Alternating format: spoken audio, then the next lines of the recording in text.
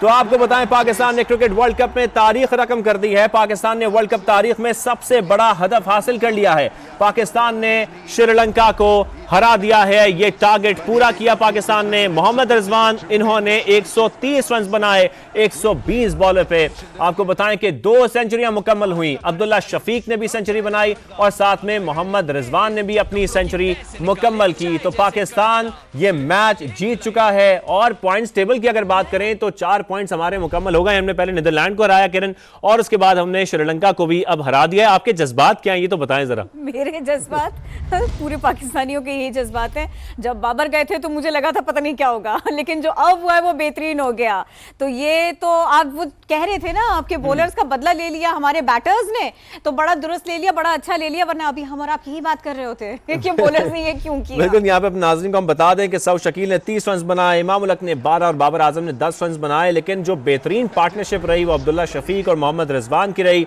मोहम्मद रिजवान ने 130 रन की नाकाबिल शिकस्त इनिंग्स खेली जबकि अब्दुल्ला शफीक ने 113 रन स्कोर किए। तो पाकिस्तान श्रीलंका को हराने में कामयाब हो गया। और आपको साथ साथ ये भी बताएँ कि जब श्रीलंकन बैटर्स बैटिंग कर रहे थे तो उनकी जानब से भी दो सेंचुरियाँ जड़ी गई। मैंडिस ने और समरा विक्रमा ने भी सेंचुरी जड़ी। लेकिन पाकिस्तान फिर भी श्रीलंका को हराने में कामयाब रहा। हसन अली ने चार विकटें ली।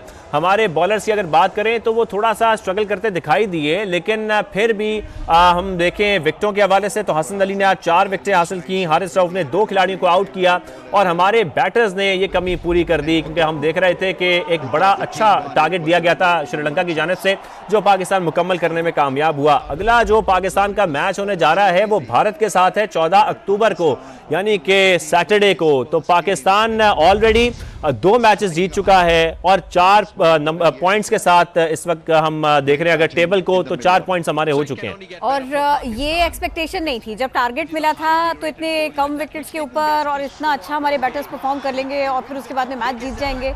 खदशा तो रहता है डर तो रहता है। टीम पाकिस्तान खेल रही है कुछ भी हो सकता है। कुछ भी या हो सकता। तो चलेंगे या बिल्कुल नहीं चलेंगे। ये ये वाली कंडीशन होती है। बड़ा मुश्किल होता है मैच देखना। बिल्कुल हमारे लिए देखना भी बड़ा मुश्किल है। यहाँ पर सेलिब्रेट किया जा रहा है और इस सेलिब्रेशन के मनाजर में आपको दिखा रहे हैं शाहीन यहाँ पर हैं गले लगा रहे हैं और खुशी मना रहे हैं और क्यों ना मनाएँ? क्योंकि हमने दूसरा मैच इस वर्ल्ड कप का जीता है। साथ में तारीख भी रकम की है जो कि हम आपके साथ शेयर कर रहे थे। आपको मैं एक बार फिर बताऊँ कि पाकिस्तान ने क्रिकेट वर्ल्ड कप में तारीख रकम की। किस तरह पाकिस्तान ने वर्ल्ड कप तारीख में सबसे बड़ा हदफ हासिल कर लिया है। और साथ में आपको ये भी बताएँ कि हम जब बात कर रहे थे अपने बैटर्स की तो बाबर आज़म आज कुछ बहुत अच्छा स्कोर नहीं कर सके, दस रन बनाकर आउट हो गए। उसके बाद हम बात करें इमाम उलक की तो वो भी कुछ बहुत अच्छा नहीं खेल सके। उनके स्कोर की बात करें तो वो भी सिर्फ़ सिर्फ़ बारह रन बनाकर आउट हो गए। लेकिन मोहम्मद रिजवान डट गए, अब्दुल्ला शफीक डट गए।